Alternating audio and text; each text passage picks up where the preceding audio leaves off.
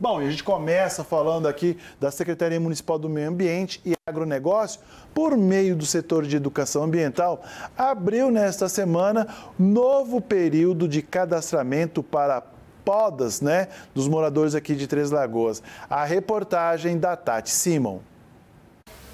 O setor de educação ambiental de Três Lagoas abre novamente período para cadastramento de podadores residentes em nosso município.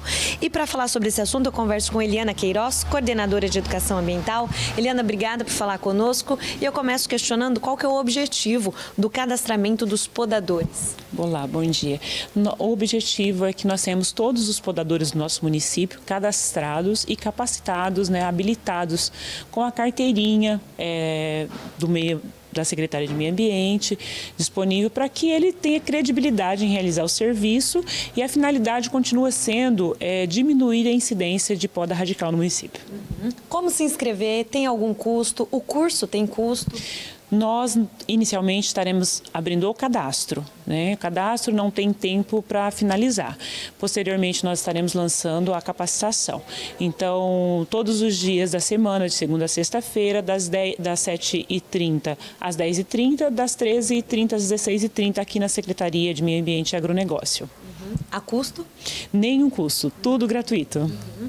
Bom, como eu disse, é a segunda turma. Qual que foi a primeira turma? Qual é o feedback, o balanço que você pode nos passar? Bom, nós tivemos é, 66 cadastrados e para a capacitação em si compareceram 45.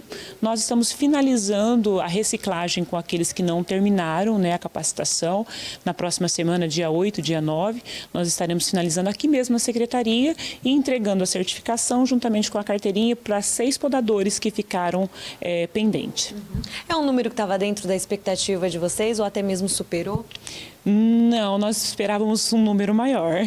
Quem sabe agora então na próxima turma? Sim, precisamos né, que todos os podadores da cidade estejam devidamente cadastrados e capacitados, porque posteriormente poderemos lançar uma lei de obrigatoriedade para esse cadastro e capacitação, né, para que os nossos podadores tenham credibilidade, a prefeitura possa acompanhar junto a eles a questão das podas no nosso município e para que nós possamos andar de acordo com as leis municipais. E até mesmo que o consumidor, o morador, possa ter segurança de quem ele está contratando. Sim, com, a, com o curso, com o credenciamento, o, o cidadão pode ir até o site da prefeitura, que o podador cadastrado e capacitado vai ter o um nominho na lista de, de cadastro né?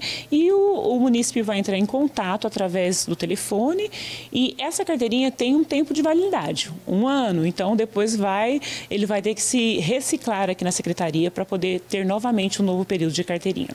Tá certo, Eliana, eu agradeço pelas suas informações. Reforço para o pessoal de casa o quanto é importante e necessário participar deste, desta capacitação, que por enquanto segue em fase de cadastramento. Interessados podem vir diretamente na Secretaria Municipal de Meio Ambiente, que está localizada na rua Munir Tomé, número 949, no centro de Três Lagoas. Volto com vocês aos estúdios.